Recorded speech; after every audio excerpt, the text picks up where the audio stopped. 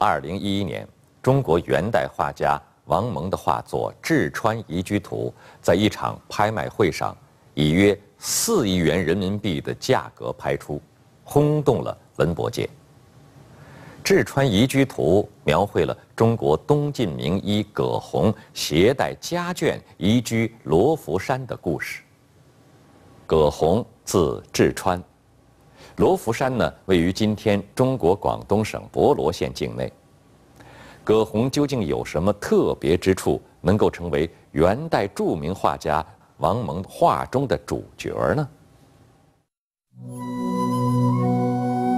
葛洪出生于中国东晋时期一个有名望的家庭，他的祖父曾官居吏部尚书，父亲则是一方太守。到了葛洪这一代，虽然家道中落，但他靠着自己的战功，一度被封为关内侯。公元三百三十年的一天，葛洪突然接到朝廷的征召，任命他为散骑常侍。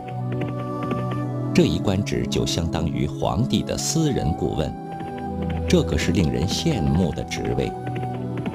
但是接到诏令的葛洪并没有赴任。他反而向皇帝提出想到偏远的广西去任职。原来葛洪意识到京城的官场更为腐败，正直的官员常常受到迫害，他萌生了远离权力中心的想法。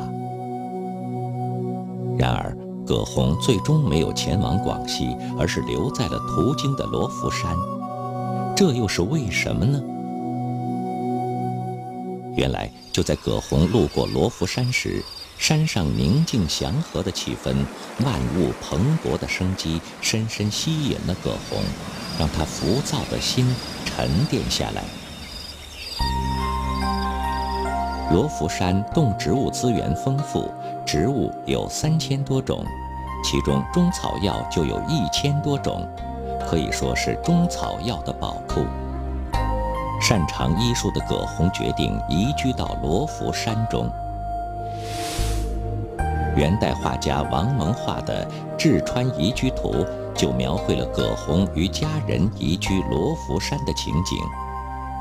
画中的葛洪骑在牛背上，身穿道袍，神情专注于手中的书籍，边走边看，全然不顾与他同行的家人。正如画中描绘的那样，葛洪和他的妻子、两个孩子以及一些仆人，提着鸡笼，牵着牛羊，把生活必需品带上了景色秀丽的罗浮山。葛洪选择了一个清雅的地方，过起了隐居的生活。他每天在山里采药、变药，对许多草药的功效有了更加细致的了解。葛洪并没有想到，这段隐居生活让他成为了影响后世的急救学鼻祖。葛洪隐居时想到了一些治病的方法，加上自己多年收集来的药方，撰写成一本医书。这本书因为篇幅短小，可以放在衣袖内的肘后部，方便带在身边，因此叫做。肘后备急方。广东省惠州市罗浮山葛洪博物馆收藏有一本清代课本的肘后备急方，书中记载了七十多种疾病的症状和抢救方法，简便易懂，容易操作。书中对天花、恙虫病、脚气病以及恙螨等描述都是前所未有的。此书可以说是中国医学史上第一部临床急救手册。后人评价肘后备急方：家有此方，可不用医。岭南地区地处偏远，缺医少药的情况十分普遍。许多百姓生了病找不到大夫。有了《肘后备急方》这本书，病人就可以在没有大夫的情况下，根据医书进行自救。为了解决百姓看病贵、看病不易的问题，葛洪在罗浮山山脚下搭了个茅草屋，为百姓义诊。只要有人来寻医问药，不论贫贱富贵，他都耐心为病人诊治。因此，葛洪在岭南地区的名气越来越大。在行医的过程中，葛洪特别注意收集和筛选那些简单易得、价格便宜的中草药。对，它很简单，所以它的方子的话呢，第一是简单，第二比较是就是灵。呃，简便、连练这几个特点。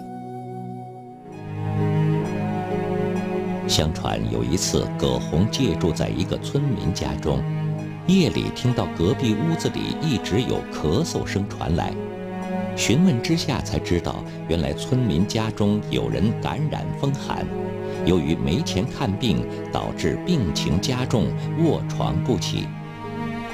葛洪为病人诊断后。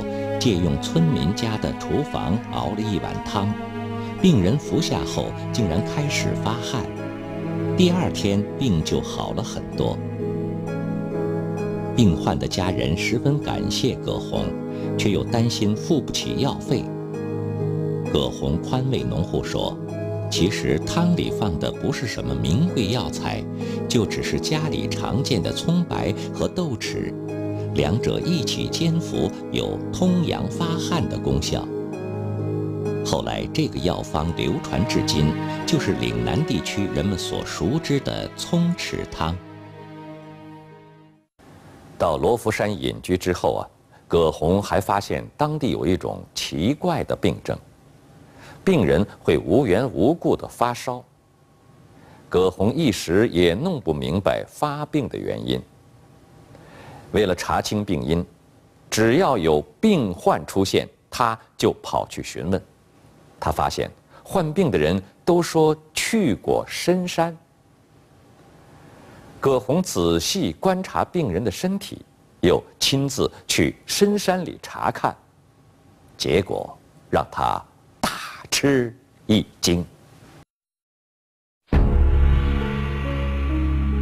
葛洪发现，在广东的深山里有一种特别小的虫子，这种虫子比小米粒儿还小，不仔细观察根本发现不了。它们会吸附在人的皮肤上，噬人吸血，同时把病毒注入人的身体，使人得病发热。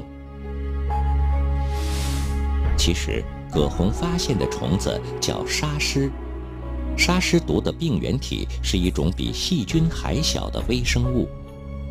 沙虱生长在中国的广东、福建一带。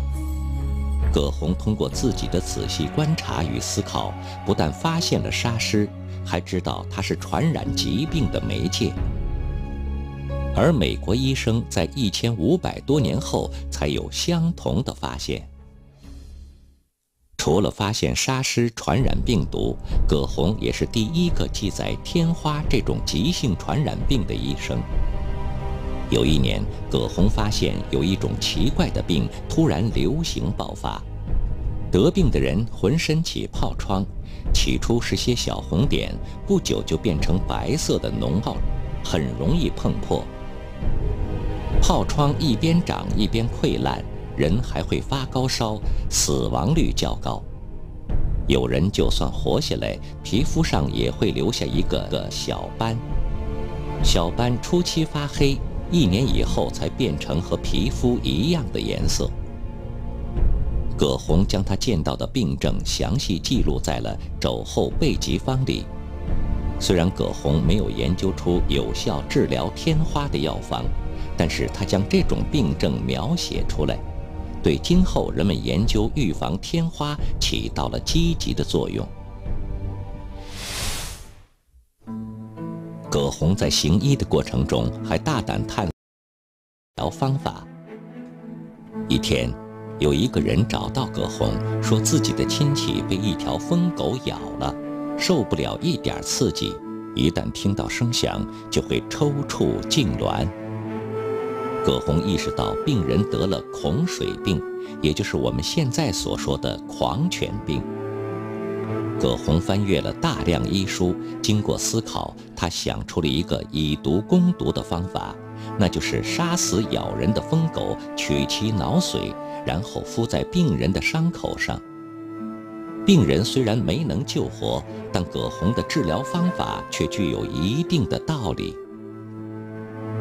在我们治疗类似的病呢，其实都是从这个呃，就是这个病人里面那个血清里面提取抗体，跟这个其实是呃思路是一样的。就这里讲到，如果是讲到牛痘、人痘里面，其实思路是一样的。就是我们最早你要想想，你不要用现在的科学去苛求它，它是一千七百年前就有这个思路。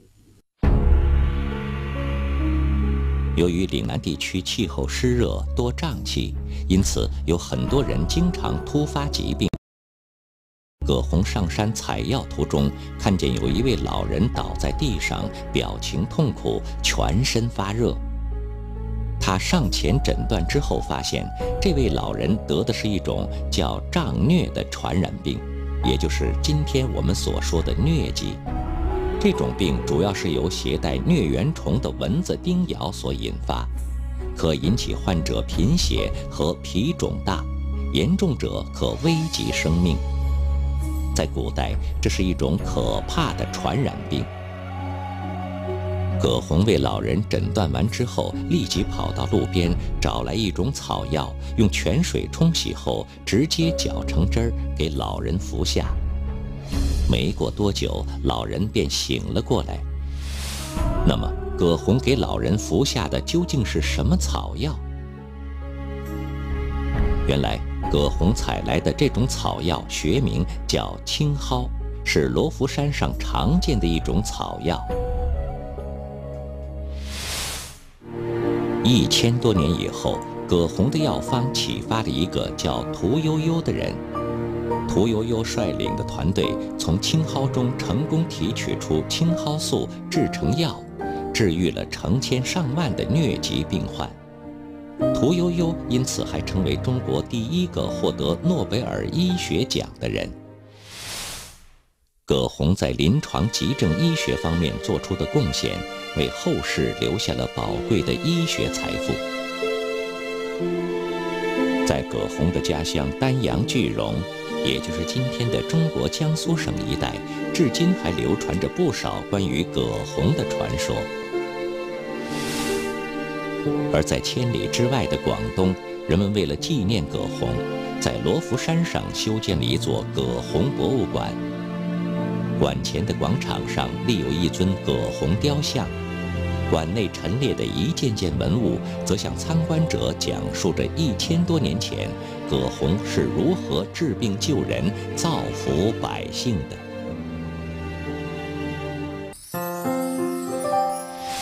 三百年前，明朝农民起义首领张献忠在四川留下神秘的千船沉银，引来后世寻宝者无数。张献忠究竟拥有哪些稀世珍宝？又是如何获得富可敌国的财富呢？下期国宝档案将为您讲述张献忠沉船宝藏之谜——富可敌国。